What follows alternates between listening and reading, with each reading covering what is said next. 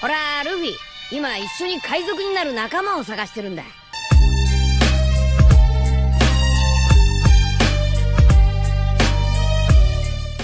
Hello guys, welcome to my channel The Wandering Zoro, your go-to destination for anime-related content.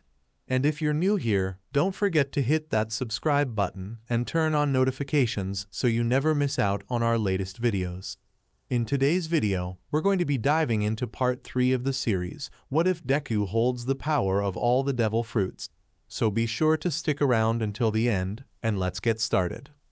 Maybe this one? Hell no, we've got to go with this. That's too strong, Dumbass. Don't be such a stick in the mud.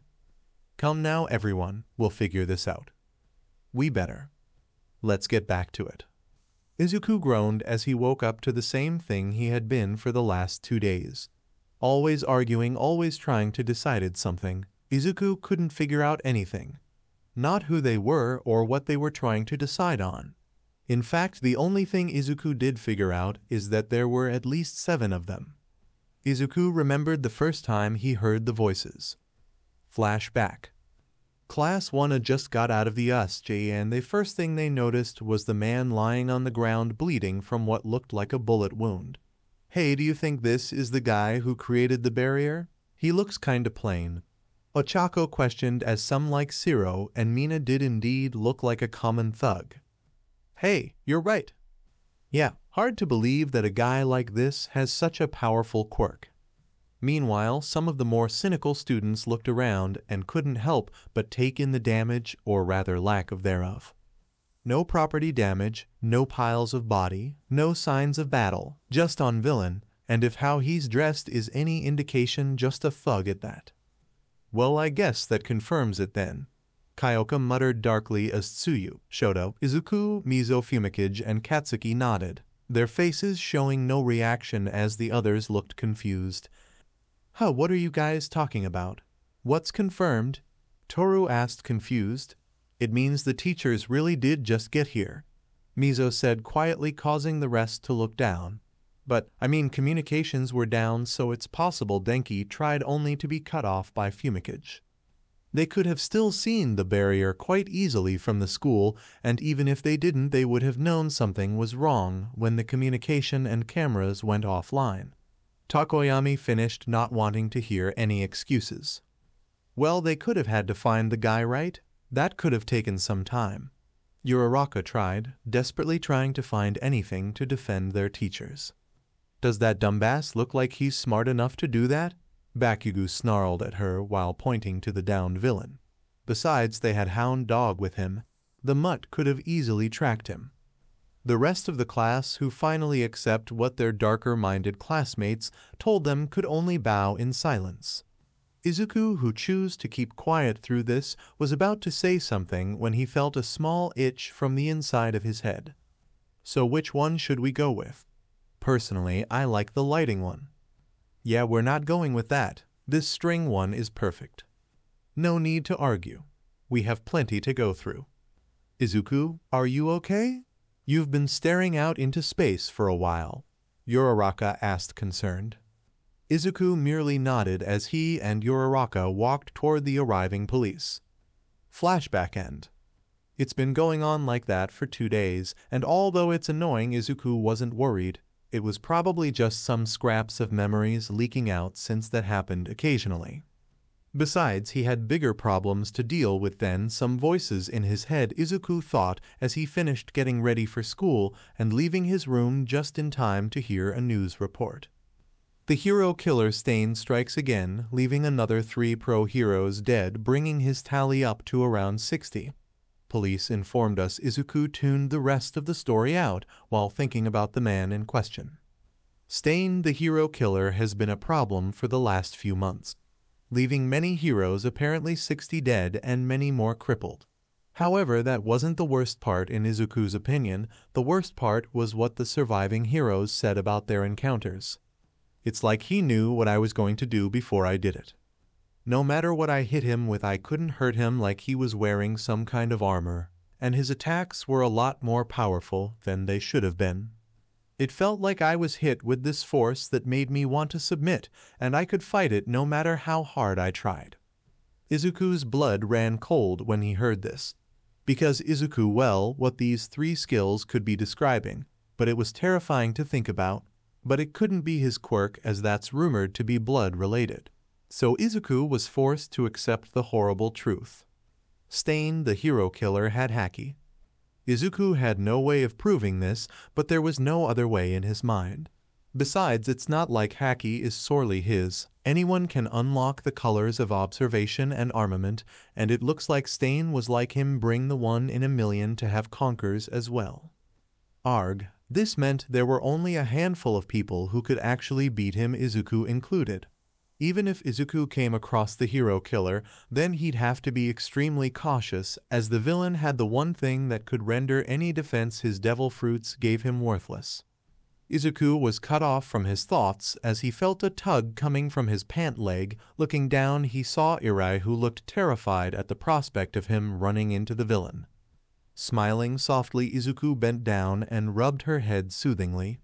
Don't worry, Eri, he won't get me. I'm the strongest in the world, after all. Eri looked at him and nodded, gaining a look of determination on her face, fully convinced her brother won't lose. Izuku, seeing this, felt his smile grow inch as he and his sister went to eat breakfast. Soon it was time to head to U, and after bidding his sister and mother goodbye, he left. It didn't take long to arrive, and Izuku soon found himself back in his classroom. Given they were given the day after the Usjoff, there was only thing they were discussing. So, uh, did anyone see the news last night? Toru asked hesitantly with most of the class nodding. Well, I mean, it was kinda cool how we got a few seconds of screen time, right? I mean, I guess we could be considered celebrities, right? Surviving such a big deal? Denki awkwardly asked with Kirishima slowly nodding. Please, the media doesn't give a damn about us. The only thing they care about is how villains infiltrated a hero school and the staff was too incompetent to do anything. Kyoka hissed with a scowl. She has a point. Sero began, I mean, look around, we can't exactly say it was something people should expect from first years. The tape user pointed out that, with the exception of Izuku, everyone had some kind of injury, even Bakugo and Todoroki. The only reason Izuku doesn't have any injuries is because of his Devil Fruit's regeneration abilities. Come on guys, can we please stop talking about this? Mineta pleaded with Bakugo hissing at him to shut up much more subdued than he normally would. Still, though I'm glad we had you there, Midoriya. I don't want to think about what would happen if you weren't there, Sato said with the rest of the class agreeing though Bakugo did it silently. Izuku just waved it off saying he was happy to help. Soon it was time for class to begin and the class was wondering who was going to sub for Aizawa when to their surprise the man in question stepped through the door. When questioned the man merely said his health wasn't a factor and proceeded to start class though privately Aizawa did share some of his students' anger, finding it completely illogical and incompetent of teachers fully licensed heroes at that to not realize something was wrong despite all the signs. Anyway, you shouldn't let your guards down. The fight isn't over yet. More villains? The class, though, with most of them ready to activate their quirks. It's time for the U, a sports festival. Aizawa finished. Don't scare us like that. The class shouted, though they were relieved. Oh, hell yeah, I'm fired up. Kirishima yelled, ready to kick some butt. Wait a minute, dude, Kaminari said, bringing the red head down to earth. Are we seriously doing this right after an invasion? Kyoka asked, annoyed at how light of the situation the school was making of this. Yeah, what's stopping the villains from doing this again? Ojiro asked, concerned. Apparently, the school wants to do this to show the public the crisis has passed. Aizawa spoke furious at how the school was trying to sweep the incident that nearly cost two pro heroes and an entire class of heroes in training under the rug. Besides, from what I'm told, they're beefing up security this year with pro heroes from all over, Aizawa explained. Mineta still wasn't convinced, are we really going to having some stupid festival right after a villain attack? Izuku turned to him. You do know how important this is, right, Mineta? He questioned with the grape-haired boy nodding in confirmation. Our sports festival is one of the most viewed televised events in the world, second only to the Battle Towers World Championship, Aizawa explained.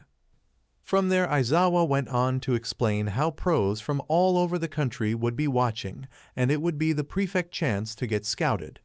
And there were three chances in their lifetime to show off what they could do. After class was dismissed, the students talked about how pumped they were for the festival with Uraraka seemingly possessed. Izuku could understand where they were coming from. He had the look they had many times growing up. After that, Izuku and Iida asked Uraraka something that's been on their mind for a while why she wanted to be a hero. To their surprise, she was in it for the money. She went on to explain she wanted to help support her family, who owned a struggling construction company. By the end of it, Tenya was in tears and clapping while praising her for her kind heart, and Izuku told her it was a truly noble goal. Ha ha ha, young Midoriya is here, all Might shouted as he suddenly appeared around the corner. Oh, it's All Might. Uraraka said surprised while Iida gave a polite greeting while Izuku just nodded.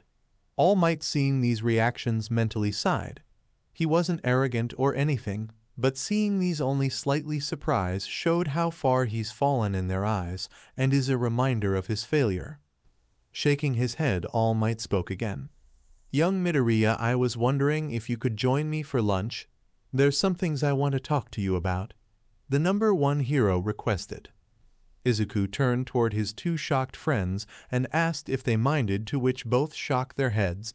Seeing this, Izuku followed the number one hero while Uraraka and Iida went to the cafeteria.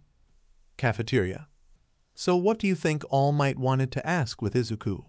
Uraraka questioned with Iida taking a thinking pose, not knowing someone was listening in. Well, it could have something to do with that bird villain Midoriya fought at the USJ. You remember the villain covered in hands said it was designed to kill All Might? He was probably just asking Izuku about him. It could also do with the fact that parts of Izuku's quirk seem a lot like All Might's quirk. Maybe that caused All Might to take a liking to him. He truly is lucky. Tenya exclaimed with Ochako nodding in agreement. All Might and Izuku Midoriya is there a connection? Shoto Todoroki thought as he listened in while trying to figure out the mystery. With Izuku and All Might. The two had just entered an empty room and sat as All Might prepared some tea while both were trying to figure out what to say to each other. In the end, it was Izuku who broke the ice. So you're looking better in a not about to die of starvation kinda or way. Izuku spoke as he looked at Toshinori in his power-down form although unlike when they meet nearly a year ago, he wasn't a skeleton thin with sunken eyes. Instead, he had a body very similar to Izuku. All Might grinned. Yeah, well, after you healed my injury, I didn't waste any time in getting back into shape. It's gotten to the point I can use one for all as long as I wish. All Might finished happily that he could get the most out of Quirk for the remaining time he had it. Izuku nodded. So what did you want to talk about? Izuku asked, causing All Might to frown about what he was about to say. All Might took a deep breath before speaking. I nor the rest of the staff have any excuse for what happened at the USJ. We truly failed as heroes that day. Young Midoriya, I can't apologize. Shut up. Two simple words, but they were so cold that it gave Toshinori pause as he looked into Izuku's eyes and was actually taken back by the fury in Izuku's eyes. I'm not the one you and the teachers should be apologizing to. I would have been fine on my own. It's my classmates you should be apologizing toward. They don't have any experience fighting people like I do and could have been seriously tortured if not killed. Izuku growled, causing All Might to lower his head in shame, but Izuku wasn't done yet. But you know what really makes me mad the most? The fact that the staff here seems more concerned with their own reputations than the fact that 20 students and two almost died. In fact, isn't that why the sports festival is being held so soon to make people forget about UA's messed up? Izuku took a breath to calm down before saying his last piece on the subject. When I first accepted this power, I told you of my problem with today's heroes that only seem concerned with money and fame, but you promised me there were genuine heroes still out there who became heroes for the right reasons. That relit the fire in my soul to be a hero. But the only heroes I've seen like that are 13 Sensei and Aizawa Sensei. So don't offer any apologizes or promises that it won't happen again, we don't want to hear it. Instead, let your actions speak for you. Through it all, All Might was silent, knowing his successor was right. The staff failed and are trying to cover it up so they don't seem as incompetent.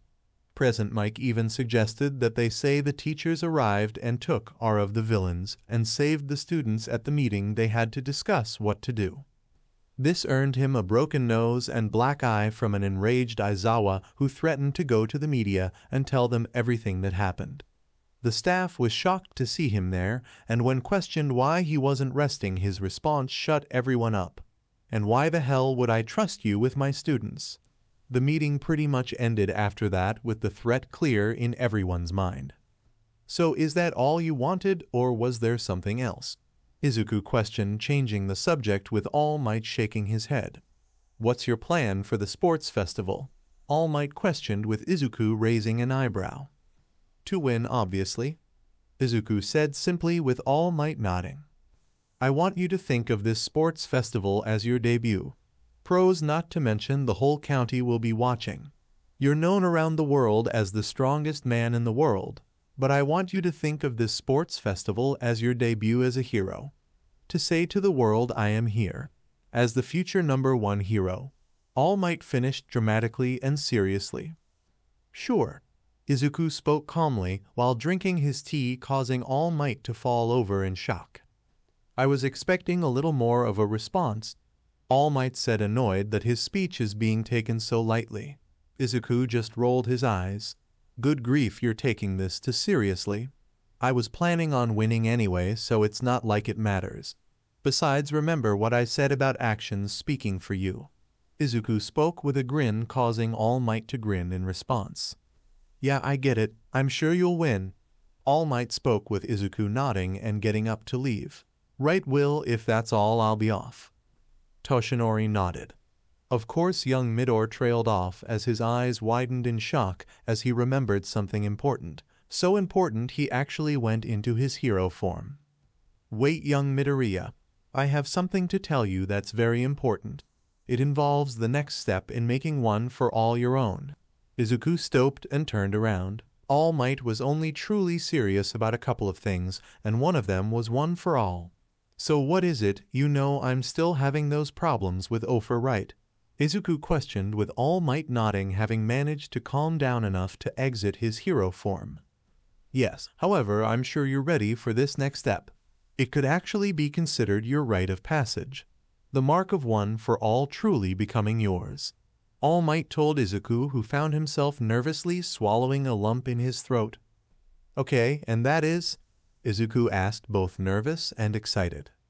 Toshinori looked his successor dead in the eyes. Young Midoriya, you must. Choose your smash theme. All Might finished in his hero form.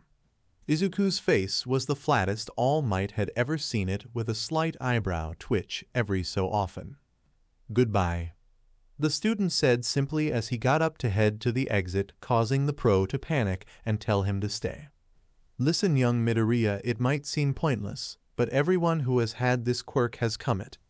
Nana did it as did her predecessors before her. It's something that means something to you like how I named mine after certain states from the US that mean something to me. So please take this seriously. All Might finished. Izuku, seeing the look in his teacher's eyes, merely sighed and nodded before leaving, leaving a happy All Might behind. After class, so something I can help you people with? Izuku asked dryly at the horde of people in front of their classroom door. The students outside were shocked. There were rumors and sightings of Akuma being here, but most just chalked it up to a transformation quirk. So most were shocked and more than a little intimidated to see him there. So the rumors are true. The world champion does go to UA, a tired voice spoke out with crowd parting to reveal a boy with purple hair and bags under his eyes. I'm Shinso Hitoshi from General Studies. The now named Shinso spoke. Izuku Midoriya, it's a pleasure. Izuku said as he held out his hand, to which Shinso shocked as a small smile came to his face. Likewise. It's nice to know not everyone in the hero course is full of themselves, Shinso told him. Hey, don't worry about it. That's just Bakugo. Izuku responded, which earned a Fudeku from said explosion user. Ignoring this, Izuku continued. So what can we do for you? Izuku asked, causing Shinso to chuckle. Oh, nothing. Just came by to offer my declaration on war. Shinso finished shocking everyone but Izuku, who figured it was something like that. See, I wanted to be in the hero course, but I failed the entrance exam and had to settle for general studies.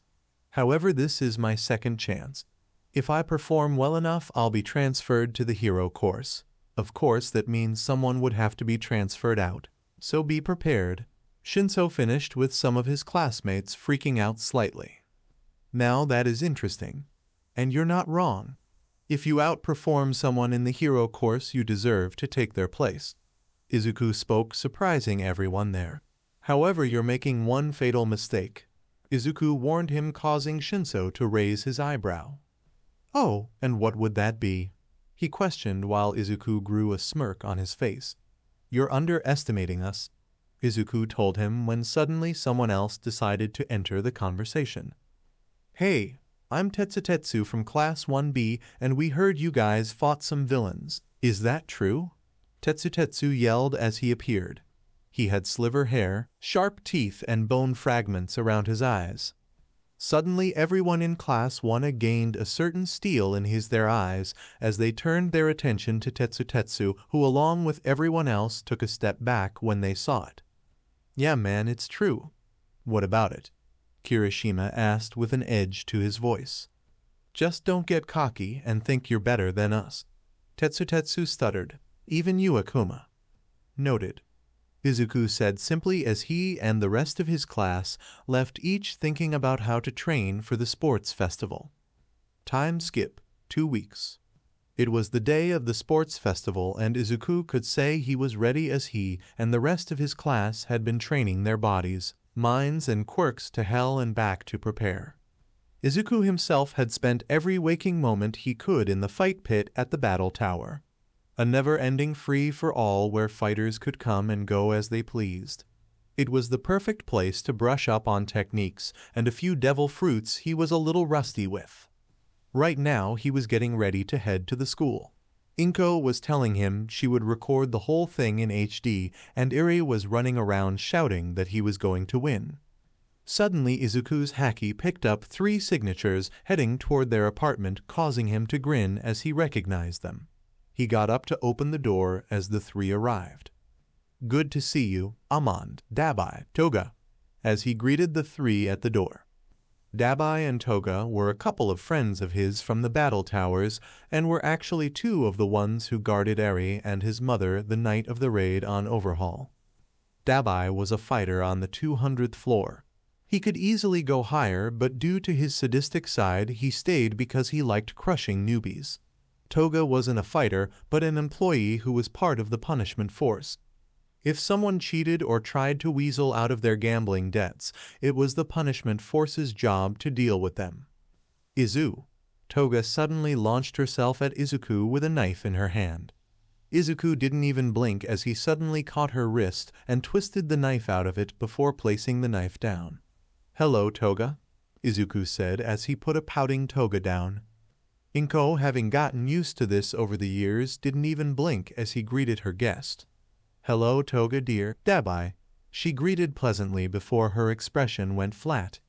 Amon she finished dryly towards the woman dating her son despite her age. Toga responded by giving Inko while shouting a greeting while Dabi just waved while muttering a thanks for having him. Amon meanwhile gave Izuku a peck on the cheek causing Inko's eyebrow to twitch. Mr. Dabi, Samand, Eri greeted the two while tackling Dabi in a hug who fumbled to center her despite the fact the little girl did this every time she saw him after meeting and taking an immediate liking to the two. What about me, Eri? Toga questioned only to receive a TCH from Eri as she walked away after Dabi set her down. Eri never liked Toga after meeting her, From her creepy personality to the fact she kept trying cut Izuku every time Toga saw him. Eri also ignored the fact that Dabi had a worse personality and tried to do much worse to Izuku when the spared. Something Toga brought up regularly. Toga could only sulk with Dabi snickering slightly before going to help Inko out with any snacks she was preparing for her guest despite her protest. So where's the old man? I though he was coming here, Izuku asked his manger. He said he wanted to go watch in person said he could give any criticism he had in person, and as they came to him. This caused Izuku to pinch the bridge of his nose in annoyance while muttering naturally. Before heading for the door, though not before Amon saying she had something to discuss with him later. Well, guys, it's time. Wish me luck, Izuku said, with each doing just that. He was just out of the door when he heard Dabi speak. Hey, Izuku. Izuku stooped and turned eyebrow raised. Dabi grinned kick some butt. Izuku smirked and nodded as he left. At UA, the school was packed to the walls as civilians, reporters and heroes alike ready to see one of the biggest events in the world. The students would have been swarmed, but luckily they were led in a different way, but they did get a good look at the main entrance. Izuku winced when he saw some of the merchandise he endorsed as well as his memorabilia were selling very well. In fact, he saw MT Lady buying a ton of it. Momo, Tenya, and Ochako, who he met at the entrance, were trying to snap him out of his funk when his haki picked up an insanely powerful energy flying toward him. Izuku had just enough time to cross his arms before the energy force slammed into him, sending skidding back and dust to kick up, blocking the attacker from view. The remaining three were shocked for a second before snapping out of it and assuming battle stances though before they could do anything they heard Izuku speak. Damn it, old man. What the hell is wrong with you? Izuku growled, showing no sign of damage or injury aside from sown dust. Ha ha ha. Please, I had to make sure spending all this time playing hero hasn't made you soft. Besides, as your trainer and your grandpa, I reserve the right to attack you whenever I want. The man in the dust spoke as the dust cleared and the attacker finally came into view. It's Garp the Fist. Momo, Tenya, and Ochako shouted shocked to see this legend here. He was once held the title as strongest man in the world, the very title Izuku now holds. He was also known to regularly help out heroes. One of the most recent and well-known is when he saved the pro-hero team known as Water Hose and breaking nearly every bone in the villain's body with a singe punch. Sir, it is an honor to meet you. Tenya bowed with Momo and Ochako doing the same with Garp just laughing it off. Ha ha! Thank you, it's always nice to meet my grandson's friends. He grinned with the three becoming shocked at the grandson comment, having missed it the first time. He's not my real grandfather. He trained me from when I was a kid, but that's it. Anything else he says is just him losing what will mind he has left. Izuku shot down, which earned him another punch from an enraged Garp. Cheeky brat. I trained you the same way I would train any son or grandson I had. Therefore, you are my grandson. He shouted with Izuku's friends, just sweat dropping at the logic. Izuku just grunted.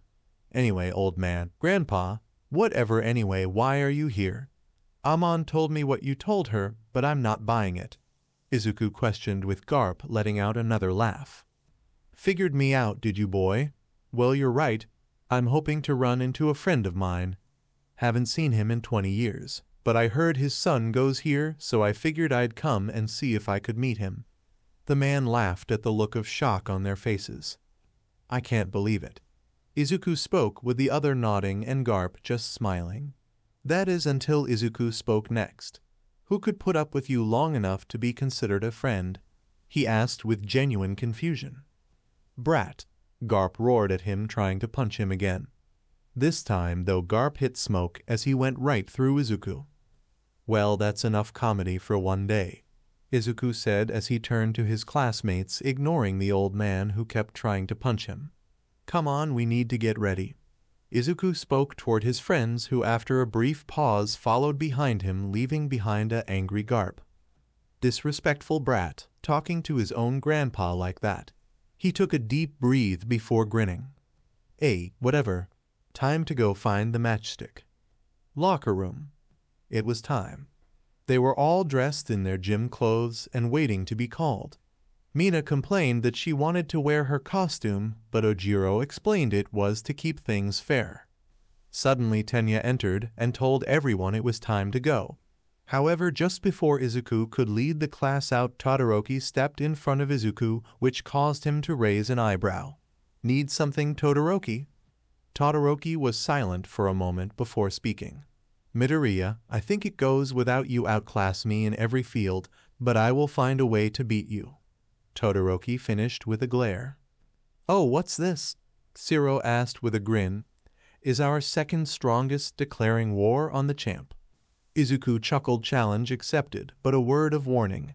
Izuku said seriously as he narrowed his eyes at the half and half. Come at me with your full power or else you'll be wasting everyone's time. Izuku spoke seriously. Come on, guys. Kirishima spoke up with an uneasy smile. I think you're underestimating a little too much. The hardening quirk user spoke. I'm not here to make friends Todoroki finished causing Izuku to sigh before leading his class to the stadium. Welcome everyone to the UA Sports Festival. I'm your host Present Mike, and are you ready for this? Present Mike stated while trying to hype up the crowd, and judging from the cheers it was working. First up, they're no strangers to danger from the Hero Course Class 1A. He introduced getting cheers from the crowd, which only went up drastically when they saw Izuku leading the class. Different crowd, same atmosphere. It never changes, Izuku muttered while Tenya was talking about being able to perform well while being observed like this. While Kirishima was pumping himself up and Katsuki just smirked ready to win. Next, they may not have had as much time in the spotlight, but they're still chocked full of talent also from the Hero Course Class 1B. After that it's General Studies CDE, Support Class FGH, and finally Business Lesson IGK.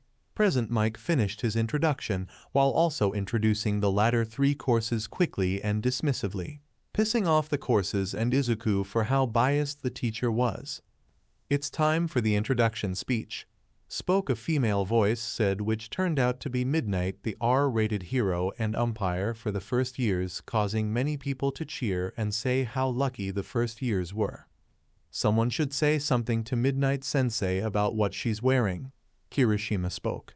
Yeah, that outfit should diffidently come with a warning, Kaminari said. Is that really appropriate attire for a high school game? Tokoyami questioned. Silence everyone, Midnight ordered.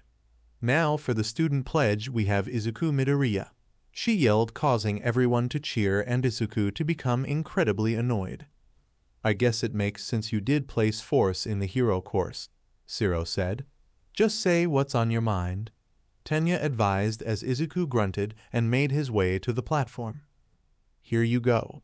Midnight said to him with a wink as she handed him the microphone. Izuku took it while ignoring the wink causing her to pout. I'll keep this brief. A minute ago present Mike introduced all the first-year classes, and the way he was so dismissive of the non-hero courses really pissed me off. Izuku stated shocking pretty much everyone there expect Garp who was grinning in anticipation at the verbal ass-kicking Izuku was about to give out. Let me ask everyone here a question. Can anyone here in a single word describe every student here myself included? Because I know the perfect word that I can use to describe every student here. The word is rival. This caused everyone's eyes from the students to the spectators, teachers, and pro heroes to widen in shock and surprise. I see students from every course from hero to general studies ready to give everything they have to win. With that alone, I'm more than happy and honored to call them my rivals and when someone a teacher no less dismisses a rival of mine so easily it really pisses me off. Izuku's speech was meet with pure silence even as he handed the microphone back to Midnight who looked lost in thought. However the second he reached the steps, the stadium erupted in a deafening roar of cheers and applause. Kirishima and Tenya were moved to tears by his speech with Kirishima bawling about how manly it was while Tenya was going on how he was honored to have so many rivals. The rest of the class, while not as inspired as those two, were ready to show what they were capable of. Unknown to Class 1A, almost every other student was feeling pumped along with rethinking their thoughts of Class 1A. Through all this present Mike was muttering apologies into his microphone with promises not to do it again. A wonderful speech, and with that it's time to begin the first round. Midnight proclaimed as the randomizer started spinning. Soon it stopped with the first event being an obstacle course around the stadium with the only rule being don't leave the course. This is it. Izuku thought as he got into position at the staring line. Time to show the world you are here. All Might thought from the stands as the first light faded. Ready. Do your best, Izuku. Inko mutters at her home while waiting with bated breath with Dabi, Toga, and Amand. Set. Let's do this, Izuku thought as the last light faded. Go. The sports festival had begun. The minute the word go was heard, a giant shockwave blew every student back several feet and knocked them on the ground. What the heck was that? Every student was knocked off their feet. What could have caused that? Present Mike yelled in surprise and confusion that was echoed by everyone watching with the exception of one. That would be Izuku Midoriya gaining an early lead. Aizawa said simply, and it was true as the cameras showed Izuku already exiting the tunnel and running at great speeds down the course. Incredible. I guess our champ wanted to start things with a bang. Present Mike said, and the audience roared with cheers. That, and he recognized the first obstacle and wanted to avoid it. Aizawa said, simply confusing Present Mike and the audience. Meanwhile, the students were getting back to their feet, and after hearing them that they were already falling behind Midoriya, they scrambled to catch up. Arg, Midoriya's not holding back this time. Kirishima shouted as he and everyone else ran for the entrance only to meet the obstacle Aizawa mentioned earlier. You're in my way. Stop shoving, damn it. Get the hell out of my way, you extras. The students were jammed pack in the entrance, and no one was able to get any headway. The audience finally understood what Aizawa was talking about. So that's what you meant, Aizawa. It's an obstacle that's not an obstacle present Mike shouted with Aizawa nodding in agreement. Right, Midoriya probably figured out what would happen so he made sure he would avoid it. Back with the students, they were trying to figure out how to get out of this when suddenly a torrent of ice blasted through the tunnel and out came Todoroki.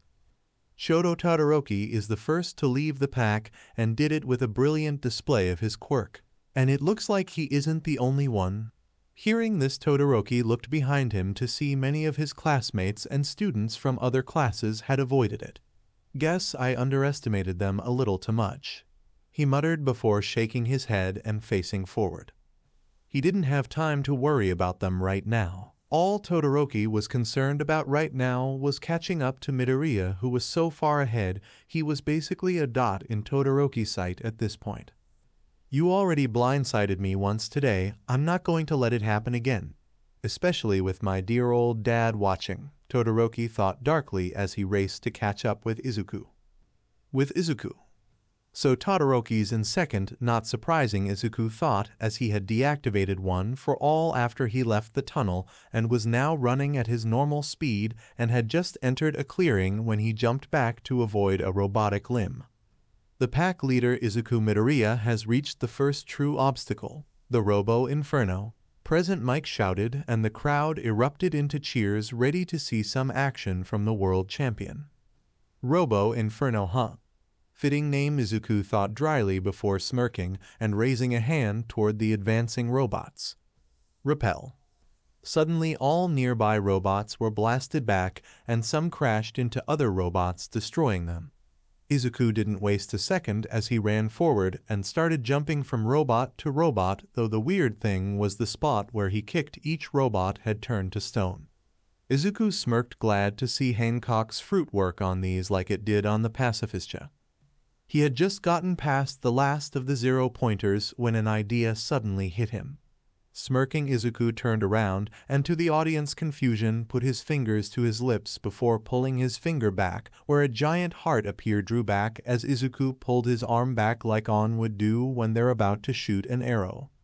I don't know what Izuku Midori is doing, but he really should be moving for oh my god.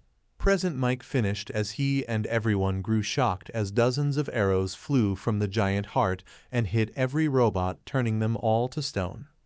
Amazing. He stopped every robot in a second. Was he trying to impress the pros? I'd say he certainly did though given his reputation I don't think he has to try very hard. Present Mike said and Aizawa sighed and shook his head when he heard his fellow teacher say this and it only grew worse when he saw some pros agreeing with him. Look again. It's obvious why he did that if you think about it. Aizawa finished tiredly with some pros nodding in agreement understanding why he did it.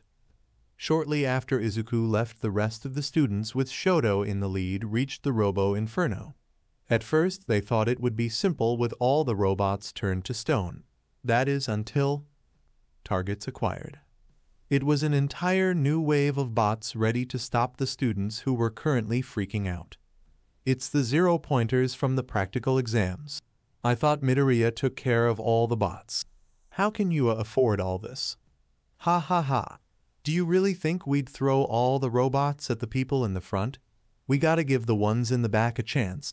Present Mike laughed at the panicked expressions on the students' faces. Shoto was the first to act and threw down a layer of ice that froze many of the robots in place, causing many students to cheer until he revealed he did it on purpose so the robots would be thrown off balance and he could get ahead. Unfortunately, as he was about to move on, Shoto heard a large crumbling sound as a shadow covered him, and his eyes widened in shock. It turns out all the robots he knocked off place crashed into the statues, causing them to crumble, raining down stone on the students. And there you go. Midoriya knew that there would be chaos, so he turned them into stone to add an extra obstacle. Aizawa explained with many nodding in understanding. Back with the students, they were currently freaking out. Not only did they have to fight the robots, but now they had to deal with falling giant stone robots. No one knew how to deal with that. Well, almost no one. Shoto threw up a giant wave of ice to guard against the robots as he was able to get through safely. Shoto Todoroki has cleared the obstacle. It may have slowed him down, but he was able to clear it in the end as expected of a student let in through recommendation, present Mike proclaimed to the cheering crowd. Back with the students, they were cursing Todoroki having made things harder for them. Hey, where the hell is Class 1A? One of the students asked, having just noticed they weren't there. The other students, having seen this, looked around until they're over there, running through the robots. Tetsutetsu yelled to the shock of the rest, who turned and saw it was true. Class 1A was running through the robots while getting rid of any who got in their ways with various methods. Those with main combat quirks just tore their way through, such as Bakugo, Aoyama Kirishima, Iida, Shoji, Sato, and Ojiro. Others got rid of the robots through different uses of their quirks. Momo creates a shield made out of titanium alloy with a bladed edge that let her, her defend and attack in one. Denki short-circuited every robot he touched having training like crazy to stop frying his brain, while Kyoka used her jacks to pump her heartbeat into them, overloading each bot. Ochako and Tsuyu once again teamed up having a much easier time as with all the experience Ochako gained in the USJ and the training she put in after her limit increased big time. Other chose to avoid combat altogether to try to make up some distance from the leaders. Sero, Mineta, and Tokoyami climbed the zero pointers and then used their quirks to get down quickly past the bots. Mina skated on acid she produced from the holes in her shoes to easily get past the slow robots. Koda and Toru were the last of their class, but they still got through. Toru simply used her invisibility to get past, then whole Koda had birds fly in front of the robots, obstructing him from their sensors. The other students just stared, shocked at how they didn't even hesitate and how they effortlessly got through. Incredible. All of Class 1 had gotten through like it was nothing. Eraserhead, your students are incredible. Present Mike shouted over Crowd, cheering the awesome display of quirks. They may look scary, but at the end of day, they're just large chucks of metal, and with a well-placed hit can be taken down easily. Snipe said. Indeed, 13 replied giving the same kind of one-word answers they have been giving since the USJ causing Snipe to sigh before returning to watching the race. It's not that Class 1B aren't skilled, All Might thought. Class 1 and knows not to hesitate. They've learned that if you do so for a single second, it could cost you everything. They've already gone through the terror and horror of the unknown and managed to get, get out of it all on their own. That knowledge and experience is what's pushing them forward, Aizawa explained. With Izuku. Sounds like everyone's starting to catch up. Izuku muttered before suddenly coming to a complete stop. In front of him was a large chasm with multiple platforms connected by ropes. And Izuku Midoriya has reached the second obstacle, the fall, where if anyone should fall it means instant disqualification. Present Mike explained the next event. Izuku just stared at the fall before smirking as arms morphed into flames and morphed into wings. Izuku jumped and took off easily clearing the fall without an issue and continued on flying to increase the, his lead. Look at that. Izuku Midoriya flies right over the fall without an issue and increases his lead. Though the question now is how will he clear the mind field? Where the mines, while not that powerful, are loud enough to make someone pee their pants. So what do you think, Eraserhead? How will he clear it? Present Mike questioned Aizawa, who looked at him and spoke in the driest tone possible. Probably by flying.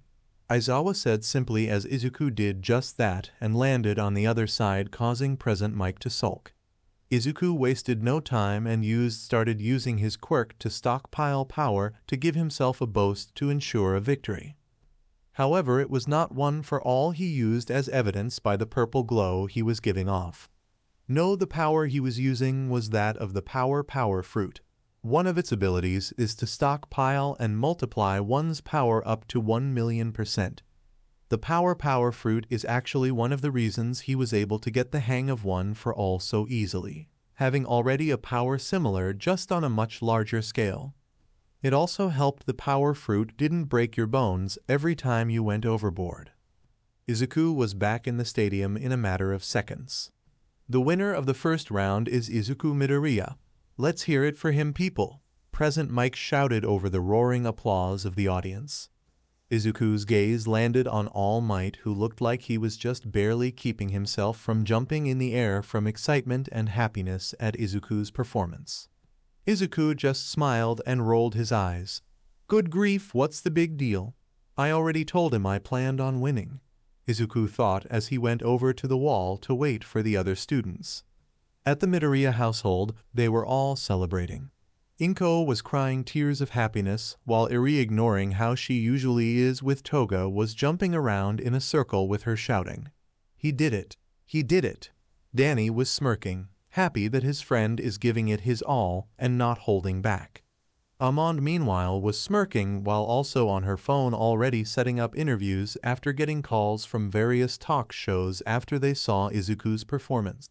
Already thinking of all the press he'll get if he continues to win. The work of a manager is never done. In a dark room, Tomura Shigaraki was glaring at the image of Izuku with utter hatred and loathing. Medical gauze wrapped around his broken nose and a metal brace around his chest. His master told him to watch the sports to get an idea of future heroes he might face. That damn brat. He muttered, scratching his neck with a new left metallic sliver hand, while his, his right hand was large clunky and looked to be made of iron. I'll unalive you the next time I see you, he said, scratching so hard he started to bleed. Garp was laughing his head off. Ha ha ha, that's my boy, kicking butts and showing no mercy. Garp said as he heard a deep chuckle approaching. I see you installed your love for overkill in your student, you crazy monkey. An amused voice sounded causing Garp to give a wide grin. Never thought I'd hear a hero use the term overkill, let alone the number two. I guess that proves fighters are made of tougher stuff, right, Matchstick? Garp laughed as he approached and shook hands with Matchstick better known as Endeavor the Flame Hero or his civilian name Enji Todoroki. The two had been friends since they were kids and had been training and competing against each other for years. THR2 went their separate paths in high school, with Garp going on to focus on the battle tower and Enji going to UA, though the two meet up and spared against each other regularly. Eventually, though life got too busy and had to say goodbye. In fact, the last time they saw each other was at Endeavor's wedding with Garp as the best man. It's been too long, Enji. How have you been since I've last seen you? Garp asked with Enji smirking as he pointed to the screen showing Shoto still in second crossing the fall. As you can tell, I've been doing well, especially since Shoto came along. He finished with pride. Speaking of family, Garp started his voice turn teasing. So how's Rei been doing? You two still together, or did she wise up and leave you? Garp asked with a teasing grin. That grin, however, turned to a frown when he caught the brief look of shame guilt and regret on his friend's face before going back to normal. It was silent for a moment while Enji struggled to think of something to say before Garp sighed. Forget it, let's go back to enjoying the festival. Enji nodded though he was unable to shake off the feelings he currently had.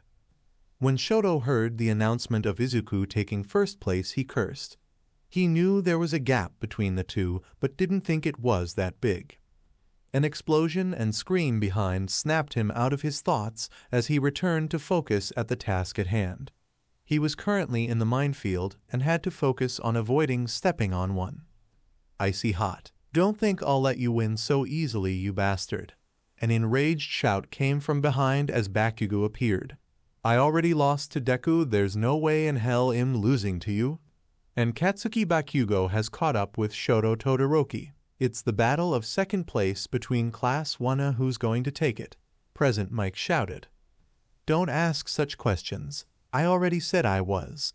Bakugo shouted while trying to pull ahead before an idea came to him and he smirked. Any last words before I blow you up to the bronze medal, half and half? Bakugo asked with Todoroki raising an eyebrow. And just how do you plan to do that? Todoroki asked skeptical that he could really do it. Bakugo's smirk was feral. Like this. He shouted sending an explosion right in front of Todoroki and onto a mine causing it to explode and Shoto was forced to jump back. And it was only then did he realize his mistake. Because as he saw Bakugo blast himself forward he had no way to stop himself from stepping on a landmine and getting blasted back. And that wasn't even the end of it. Todoroki and Bakugo were so far ahead there were landmines everywhere, so every time he landed, he hit a landmine and was blasted further back, eventually stopping in the middle of the pack. Bakugo, meanwhile, was in the home stretch, with the finish line in sight, however, his thoughts were on different matters. Don't think I'll let you beat me that easily, Todoroki, especially when it comes to Deku. I don't care who you are or how powerful your quirk is. I've been chasing his back since we were kids, training day in and day out doing anything I could to close the gap between us even by an inch. So when a pompous bastard like you comes in and sprouts shit like that, I can't let that stand. He finished his thought with a roar as he blasted himself down the tunnel and over the finish line. Second place goes to Katsuki Bakugo. Present Mike shouted as the stadium was filled in a deafening cheer as Bakugo let out a roar of victory as he let loose some explosions.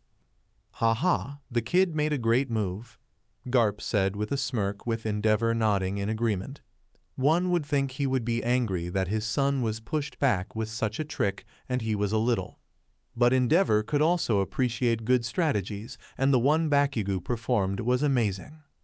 Bakugo has just calmed down when he heard footsteps behind him. That was a good plan you had back there, he never saw it coming.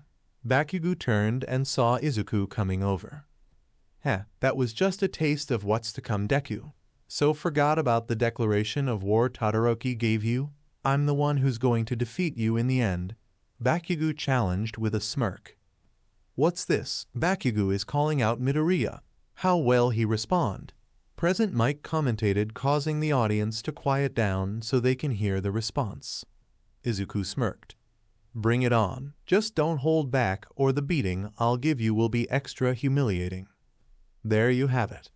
Midoriya has accepted the challenge, so it looks like we already have one grudge match to look forward to, Present Mike said with Aizawa rolling his eyes. Don't get ahead of yourself, Mike. We've got a long way to go before the one-on-one matches.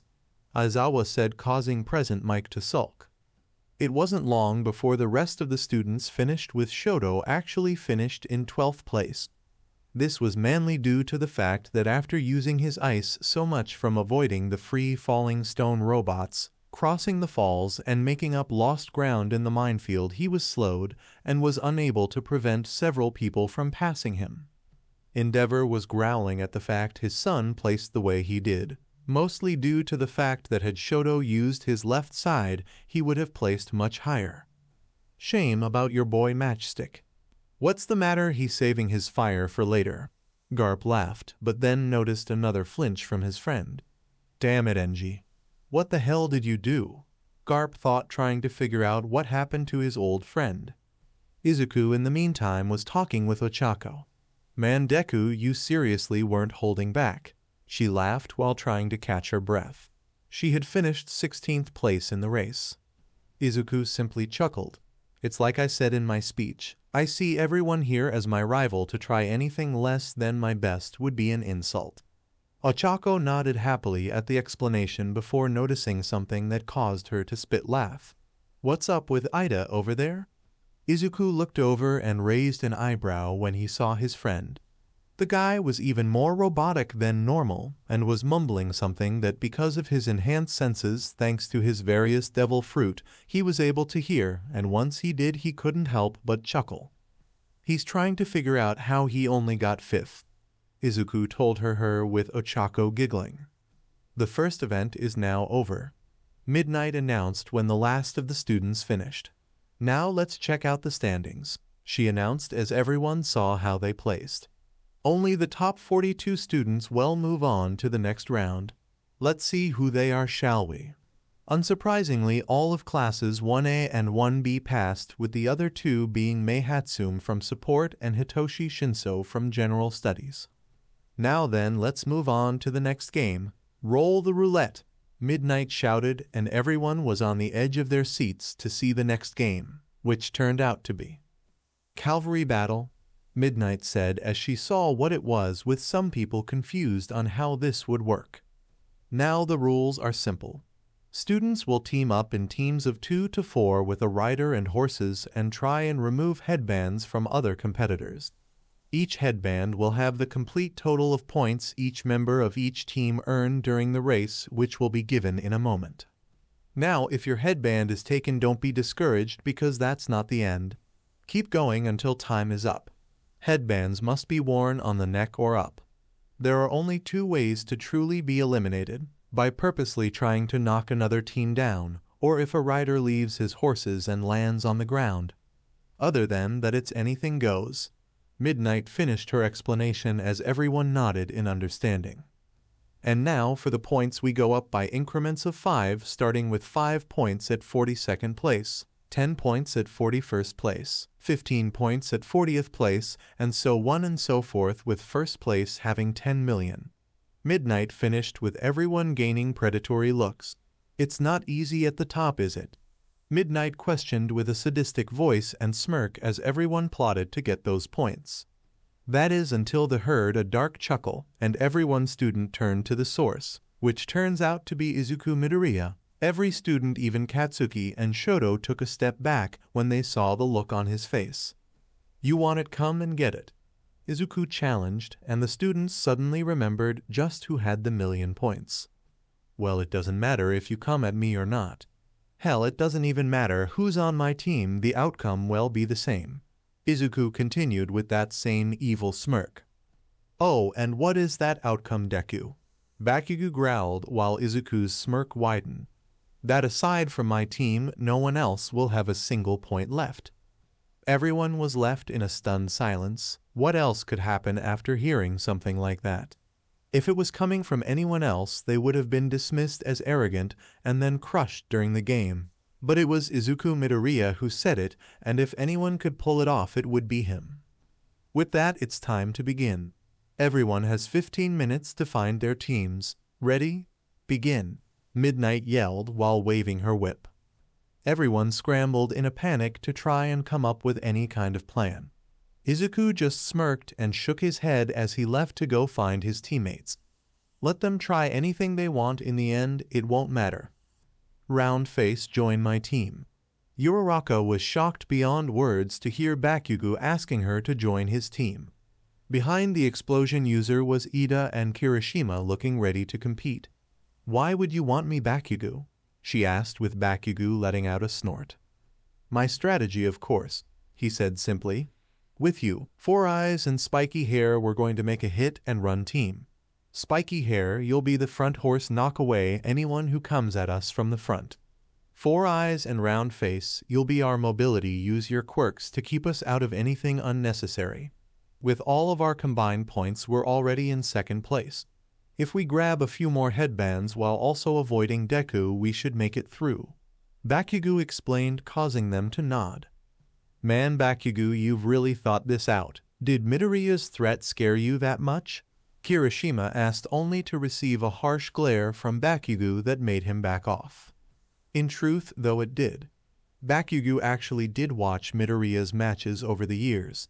At first it was to make up for how he treated him, but soon it was to try and find any way to bring Izuku down.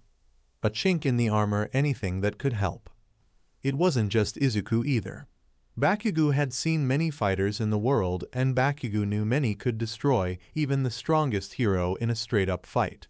So that's why Bakugo started to think more in his fights. His battle trial against Deku proved he needed to think more. And while he wasn't as good at strategizing as Izuku, Bakugo was fairly confident he could lead his team to survive whatever Izuku had planned. While Katsuki went with a hit and run tactic, Shoto decided to go with a full frontal assault, as he told his team. Kaminari, you take the front. With you there, we've got an effective offense and defense. Ashido and Sero, you'll use your quirks to throw the other teams off balance without knocking them over. Shoto explained with his team nodding in understanding. Yeah, and with your fire and ice, we're guaranteed to move on. Well, as long as we avoid Izuku, that is. Mina said cheerfully, not noticing Shoto's dark look. That's not happening. I swore never to use my left side in battle. Shoto explained to the shocked faces of his team. So you plan on just using your ice for this game. Don't you think that's a little reckless? Remember, it's not just you on the line here. Denki explained his worry with Hanta and Mina nodding in agreement. It will be enough. Shoto answered shortly even when we go up against Midoriya and his group. He told his team leading them to hang their mouths open in shock. You plan taking Izuku on at half power? Mina shouted. Being a huge fan of Izuku's, she knew a ton about how he fights and knew that a head-on attack with Izuku was suicide especially if at half power. My ice will be enough. It will. Shoto told them before muttering the last bit to himself as if to reassure himself. All the while his team nervously looks at each other as if trying to think of a something to win. Meanwhile, Garp and Endeavor were talking going over all the teams and discussing their strengths and weaknesses. Endeavor was happy with the team his son created a fine assault team that could retreat if need be. So Garp, was what Midoriya said true? Can he really pull it off? Endeavor questioned his old friend who simply chuckled. Oh yeah, he'll do it. Izuku hates it when people boast like that and it turns out to be empty words. Trust me, Enji, this next event will be nothing short of a massacre. All right, people, it's time to begin the cavalry battle. Present Mike shouted into the speakers, causing the audience into cheer ready to see the next event. So how's this going to go down? Well, we see an upset. And above all, will Izuku Midoriya be able to keep his declaration of taking every other team's points? I'd say so given the team he's assembled. He said looking over the group Izuku was with that consisted of Fumikage Tokoyami, Momo Yaoyorozu and Mei Hatsume, all of which looked extremely confident having been told the plan by Izuku. Alrighty people, the teams are created and it's time to begin. Let's get the countdown started. 3. You guys remember the plan? Izuku asked his team, who nodded all extremely happy with it despite having next to nothing if anything to contribute to it. We're ready, Izuku, it's perfect. Momo told him from his right. Indeed, fate looks unkindly upon our opponents today. Fumikage said ominously in the front with Dark Shadow cackling at what's about happen. I knew joining you guys was the right choice, Mei said from the left excited for what's coming. 2. We'll start with Todoroki. He'll be so focused on Deku we can get the jump on him and get his headband. Bakugo explained, causing his team to nod. There was a chance he wouldn't even notice if the look in his eyes was any indication. 1. We'll hit Midoriya right off the bat and catch him off guard understand. Shoto questioned his team, and while Hanta and Denki nodded uneasy, Mina just grumbled under her breath. Begin. As soon as Mike said this, Izuku jerked his index and middle fingers up, and suddenly a giant tower made of earth appeared from under Izuku and his team and lifted them in the sky and out of range from pretty much everyone else. Wow. Look at that team Midoriya is suddenly lifted high in the air. Is this the beginning of his strategy? Present Mike exclaimed while ignoring Aizawa's obviously. All right, let's begin. Izuku said before creating a clone who, knowing what it needed to do, jumped, flew off the platform, and landed on the ground as the other teams watched it wearily. The clone, seeing this, merely smirked before placing his hand on the ground and said two words Black Abyss. Suddenly, darkness flooded out of him as the other teams were shocked and confused as to what was happening as darkness covered the ground of the arena. Amongst all the confusion, there were only two people who realized what Izuku was planning as Mina and Katsuki's eyes widened in realization and horror when they figured out what Izuku's plan was. Guys, he's going to take away our quirks. Mina yelled out in panic as the other students' eyes widened in confusion and disbelief. All the clone did was smirk to late. It spoke as it made its next move. Abyssal Reach, it spoke as hands of darkness shot out of the ground and grabbed each of the students except for Toru to the confusion of her teammates. It was silent for a moment until there was a commotion coming from Team Mineta, and when they turned to see what was going on, everyone from the teams to the audience, pro heroes and civilians alike gasped as Mezo Shoji lost his extra limbs and his two remaining tentacles turned back into regular hands.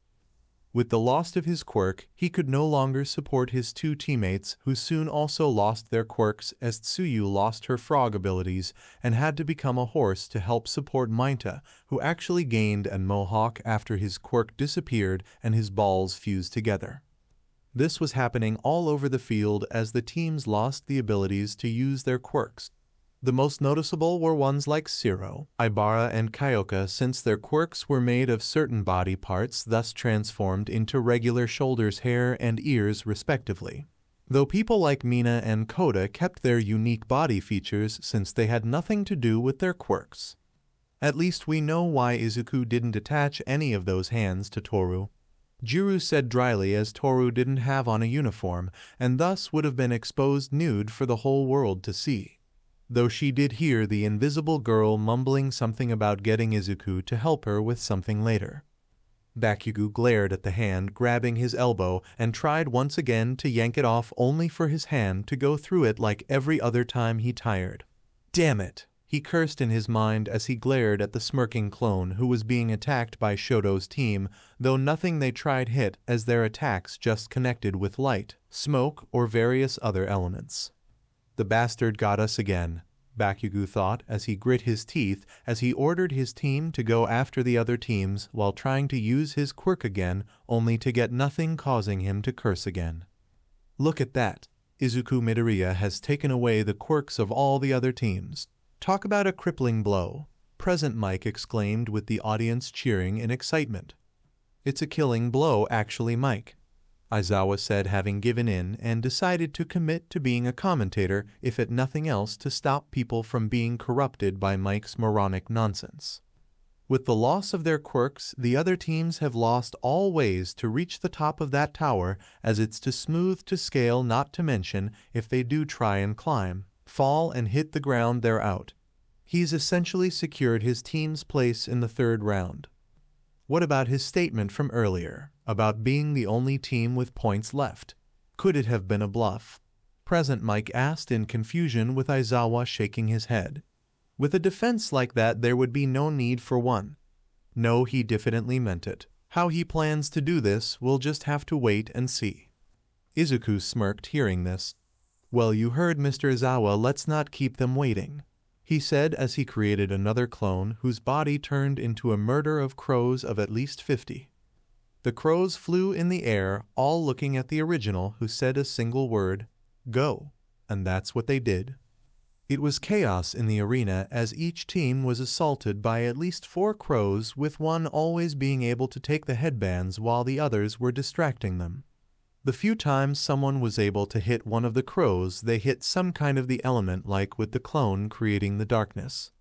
It took two minutes for the crows to gather the headbands and get back to Izuku who soon had everyone except his own around his neck while his own around his forehead. I can't believe it. Team Midoriya actually pulled it off. Everyone else is at zero while they managed to secure everyone for themselves. Has something like this ever happened before? Present Mike shouted at the top of his lungs, going crazy like a good deal of the audience.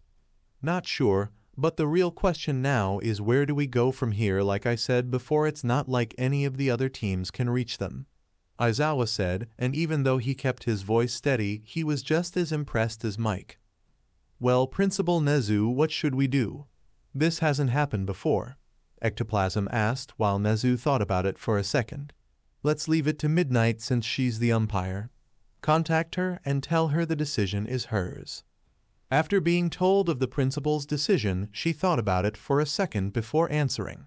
There are 10 minutes left. If they want to end the match, early team Midoriya must subdue and immobilize the other teams. She decided as the audience cheered and the team sighed in relief that they still had a chance. Well, you heard them. Any ideas, Izuku? Momo questioned with Izuku thinking about it for a second before nodding. Momo create a cannon and has many of those sticky bombs as you can. Will us my clone to trap them like you did at the USJ. Izuku told them his plan, but Momo had an issue. Izuku, they're scattered all other the place, and it's not like they have anything else to focus on. They'll know who we're targeting before we even fire. At this Tokoyami just raised an eyebrow, then simply create more cannons with enough of them they can't keep track of all of the shots. He told Momo, who suddenly gained a depressed look. You guys are seriously overestimating my power. I can maybe create three cannons, but even then that would simply waste most of my lipids. Momo said depressed that she couldn't be more helpful. Izuku just raised an eyebrow. So it's a matter of power. If it's that simple, I can just give you some of mine. He said, simply causing all of his team, even Dark Shadow, to look at him in shock. I, I, Izuku, what do you mean give me some of power? Momo questioned with Izuku just activated the power power fruit as indicated by the purple glow it was now emitting. Exactly as I said, one of my powers lets me manipulate power or energy. So I'll just give you some of that. Naturally, I'll do the same for Fumikage and Mei to help them in the next round. Izuku said with them becoming even more shocked. Why me though? We literally meet 20 minutes ago. I literally told you I was using you Mei shouted.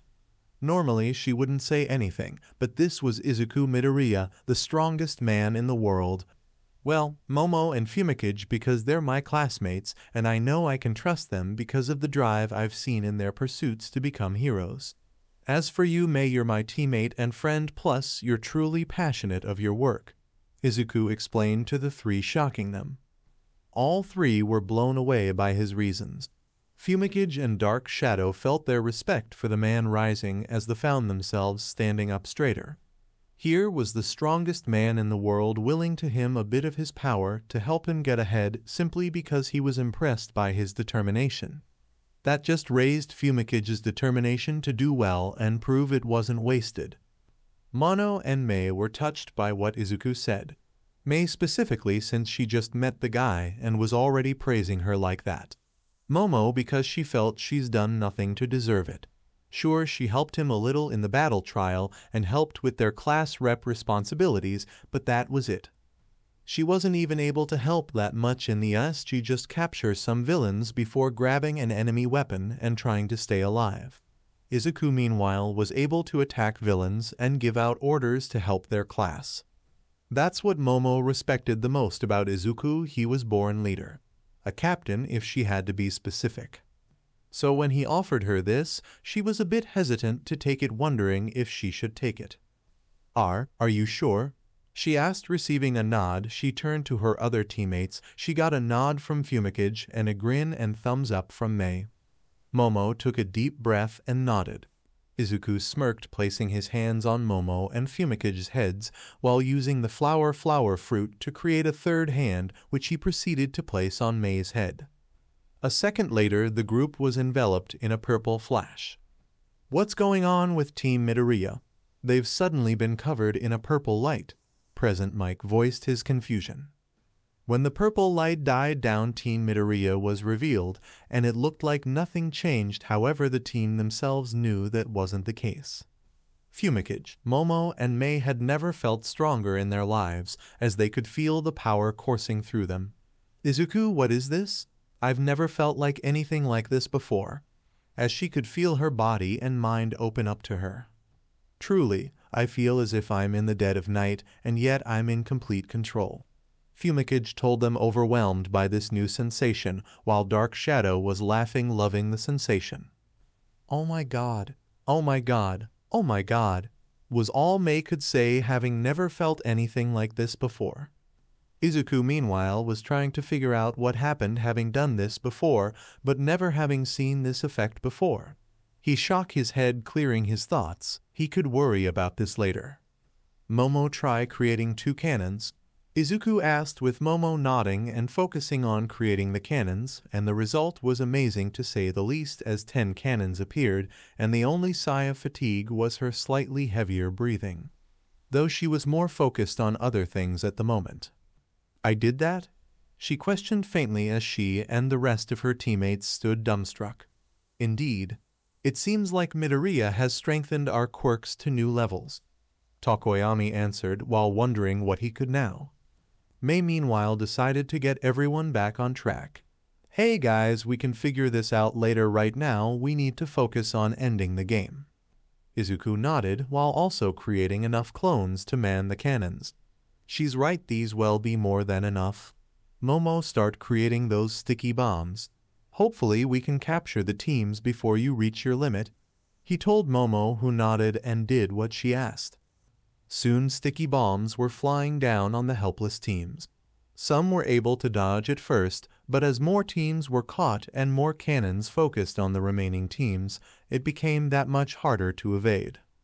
The last team left was Bakugo's who lasted a good five minutes before it became too much and they were hit. Midnight, seeing everyone stuck with none being able to escape, decided it was enough. The game is over. Team Midoriya wins. So, this was the end of part 3 of this series.